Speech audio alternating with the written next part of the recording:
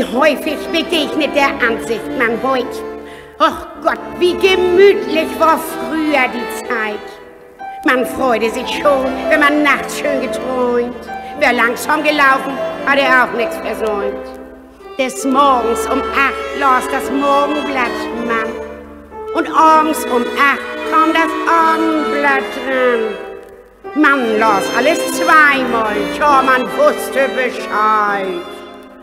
Dieses Tempo wäre heut eine Unmöglichkeit.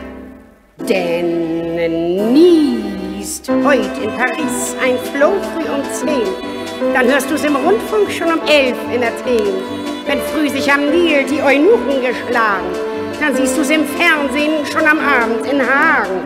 Rollt mittags man Käse zur Bahn in Berlin, dann riechst du den Käse vor Tisch schon in Wien.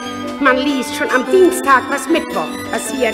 Sehen Sie, das ist das Tempo, was heute imponiert. Kam früher ein Ehepaar spät nachts mal nach Haus.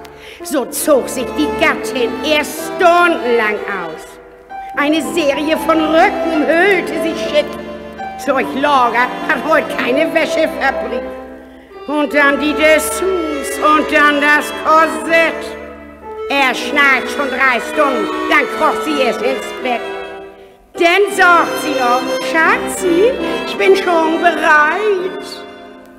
Dieses Tempo wäre heute eine Unmöglichkeit. Denn die Mode von heute schuf ein anderes System. Heute heißt die Parole leicht und bequem. Heute braucht sich beim Ausziehen nicht ärgern, der Mann.